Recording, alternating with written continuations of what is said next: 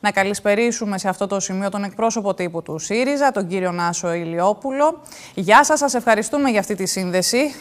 Καλησπέρα σας, καλησπέρα σε όλους και όλους. Εγώ ευχαριστώ πάρα πολύ. Λοιπόν, να μπούμε κατευθείαν στο θέμα, διότι είναι αλήθεια ότι σε πανευρωπαϊκό επίπεδο η Ελλάδα πρώτη προχώρησε στην υποχρεωτικότητα εμβολιασμού σε ηλικιακή ομάδα και συγκεκριμένα, όπως προείπαμε, στους άνω των 60 ετών με πρόστιμο. Θα ήθελα λοιπόν το σχόλιο σας, γιατί έχει ξεσπάσει η αλήθεια, είναι έντονη η αντιπαράθεση, όχι μόνο προς αυτό το κομμάτι, αλλά ευρύτερα ως προς τον τρόπο διαχείρισης της κατάστασης. Επιτρέψτε μου μια σειρά από παρατηρήσεις. Νομίζω ότι η πραγματική είδηση σήμερα είναι ότι ο κύριος Μητσοτάκης με τον πιο επίσημο τρόπο πλέον εμφανίζεται ως αρνητής της πραγματικότητας και αρνητής της επιστήμης. Με μία του μόνο φράση, και αναφέρομαι στη φράση στην οποία αναφέρθηκε και είπε ότι δεν υπάρχουν στοιχεία ότι οι διασωληνωμένοι εκτός ΜΕΘ έχουν μεγαλύτερη θνησιμότητα από ότι οι διασωληνωμένοι εντός ΜΕΘ. Με αυτήν την απλή φράση, ο Κυριάκος Μητσοτάκης κατήριξε την εντατικολογία και μας είπε περίπου ότι οι ΜΕΘ είναι άχρηστες. Κατανοώ απολύτως το, το άγχος του Πρωθυπουργού και αυτό είναι γιατί μέσα στο Νοέμβρη μόνο είχαμε 2.217 απώλειες και η κυβέρνηση οφείλει να απαντήσει πόσε από αυτές συνέβησαν εκτός ΜΕΘ. Αυτή τη στιγμή που μιλάμε, περισσότεροι από 150 συμπολίτες μας είναι διασωληνωμένοι πρόχειρα εκτός ΜΕΘ. Άρα, έχουμε μια γενικότερη εικόνα στην οποία ο κ. Μητσοτάκης έχει συνθηκολογήσει με την πανδημία και αυτή η συνθηκολόγηση κοστίζει καθημερινά ζωές και φέρνει δυστυχώς πιο κοντά και ένα νέο καταστροφικό lockdown. Γιατί λέμε ότι έχει συνθηκολογήσει; Αν σκεφτούμε τα μέτρα στα οποία ανακοίνωσε ο Κυριάκος Μητσοτάκης, τίποτα δεν αφορά το εδώ και τώρα. Ακόμα και στο καλύτερο σενάριο που θα έχουμε 60 και 70 χιλιάδες εμβολιασμούς την ημέρα, θα χρειαστούμε τουλάχιστον 1,5 με 2 μήνες, έτσι ώστε να οικοδομηθεί το συλλογικό τείχος ανοσίας από τη στιγμή που η ανεμβολία στις συμπολίτες μας άνω των 60 ξεπερνάνε τις 500.000 ε, ανθρώπους. Άρα χρειαζόντουσαν μέτρα πρώτα απ' όλα για το εδώ και τώρα, δηλαδή μέτρα για την ε, ε, για να υπάρξει επίταξη των ιδιωτικών κλινικών μεθ. Να μην υπάρχει ούτε ένας άνθρωπος ο οποίος χρειάζεται μονάδα εντατική θεραπείας και δεν βρίσκει. Μέτρα για την τηλεεργασία, έτσι ώστε να, να είναι καλύτερη κατάσταση σε χώρους εργασίας ή, αν θέλετε, στα μέσα μαζικής μεταφοράς, ειδικά σε Αθήνα και Θεσσαλονίκη, που είναι πολύ δύσκολα τα πράγματα. Μέτρα για τα σχολεία. Δεν γίνεται αυτή τη στιγμή που μιλάμε η κυβέρνηση να συγχωνεύει χίλιες τάξεις πανελλαδικά. Και επιτρέψτε να πω ότι είναι βαθιά υποκριτικό η Νέα Δημοκρατία να κυρώνει το συνέδριό της και την ίδια στιγμή να λέει ότι δεν υπάρχει πρόβλημα τα παιδιά να είναι 28 και 29 μέσα σε είναι μια τάξη. Είναι αλήθεια, κύριε Ηλιόπουλο, ότι τα τελευταία δύο χρόνια έχουμε έρθει όλοι αντιμέτωποι με πάρα πολλές αντιφάσεις. Επίσης, όμως, είναι πραγματικότητα ότι ζούμε μια ευμετάβλητη κατάσταση με πάρα πολλές άγνωστες παραμέτρους και είναι μια δύσκολη διαχείριση. Έτσι. Είτε τη διαχειρίζεται. είναι μια κατάσταση που είτε τη διαχειρίζεται η Νέα Δημοκρατία, είτε ο ΣΥΡΙΖΑ, είτε οποιοδήποτε κόμμα. Είναι μια εξαιρετικά δύσκολη συνθήκη. Μιλάτε λοιπόν και ορθώς για μέτρα στήριξης του ΕΣΥ που δεν τα έχουμε δει δύο χρόνια τώρα. Δηλαδή, ακόμα και σήμερα το πρόβλημα με τι ελλείψει στα νοσοκομεία λύνεται με μετακινήσεις γιατρών. Μιλάτε για αυστηροποίηση των μέτρων υγειονομικής προστασίας και ενθάρρυνση του εμβολιασμού. Και θέλω να έρθω σε αυτό που είναι και το προκείμενο των τελευταίων 24 ώρων τουλάχιστον. Ενθάρρυνση λοιπόν με ποιον τρόπο στην παρούσα φάση σε ό,τι αφορά τη συγκεκριμένη ηλικιακή ομάδα; Αν έπρεπε να διαλέξω έναν τίτλο, ο τίτλος θα ήταν κάτω όπως η Πορτογαλία.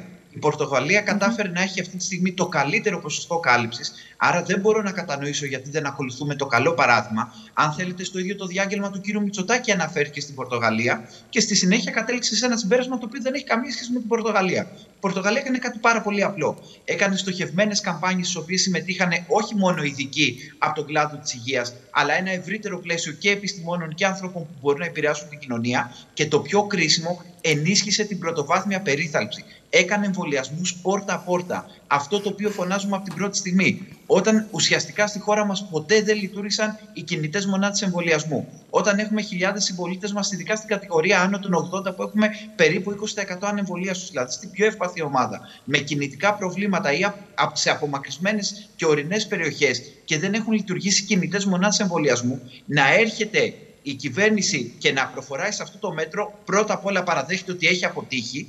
Στην πραγματικότητα όμως δεν, δεν κάνει την αυτοκριτική της, δεν, δεν παραδέχεται αυτή την αποτυχία και τη λέει όπως στην πρώτη φάση έλεγε ότι μου φταίνε οι νέοι άνθρωποι, σήμερα λέει ότι φταίνε οι ηλικιωμένοι. Στην πραγματικότητα αυτό το οποίο θα κάνει, θα κάνει αυτό το οποίο έλεγε πριν από μερικές μέρες ο ίδιος ο Πρωθυπουργός.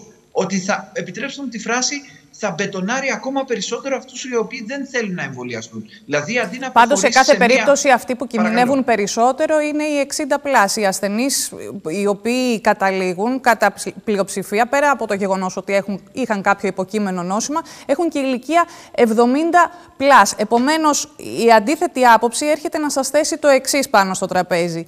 Γιατί να θέλει ο Πρωθυπουργός να πάρει μια τόσο εξαιρετικά δύσκολη απόφαση, η οποία ενέχει και ένα μεγάλο ενδεχομένως πολιτικό κόστος. Ο Πρωθυπουργός ξεκάθαρα να κατανοεί την αποτυχία του. Επίσης, ο Πρωθυπουργός, επειδή συνομιλεί με λοιμοξιολόγους με τον ίδιο τρόπο που και ο ΣΥΡΙΖΑ συνομιλεί με λοιμοξιολόγους, κατανοεί ότι είμαστε μπροστά στο χειρότερο σενάριο.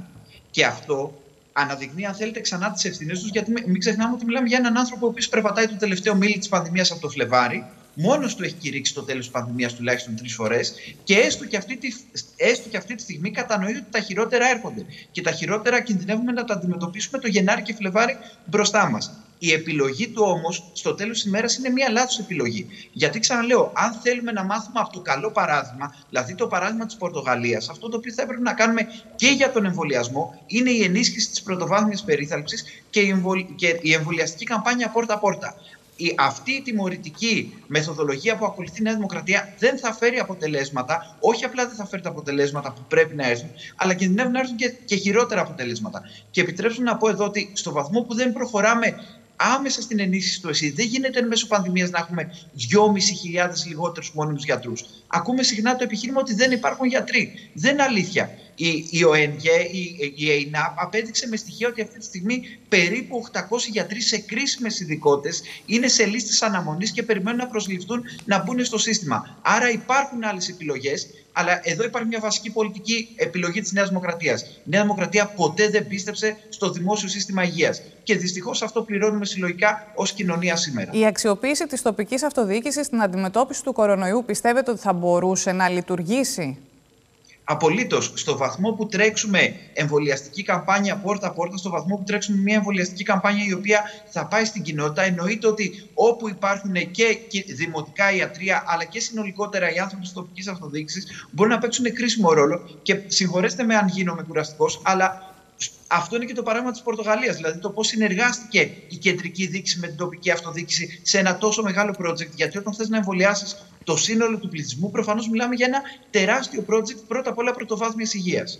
Μάλιστα. Λοιπόν, κύριε Ηλιόπουλε, να σας ευχαριστήσω θερμά για το σχόλιο σας. Καλό σας βράδυ. Καλή συνέχεια.